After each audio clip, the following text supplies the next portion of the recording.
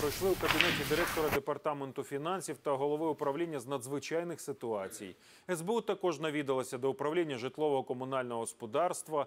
Керівника цього підрозділу обладміністрації затримали ще на новий рік. Тетяну Марченко спіймали на хабарі у півтора мільйона гривень.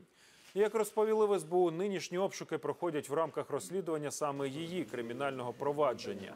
Е, Чиновниця е, одержувала, вимагала та одержала неправомірну вигоду за безперешкодне перерахування бюджетних коштів, е, які призначені для фінансування капітального будівництва об'єктів соціальної сфери, саме поліклініки в одному з районних центрів Одеської області.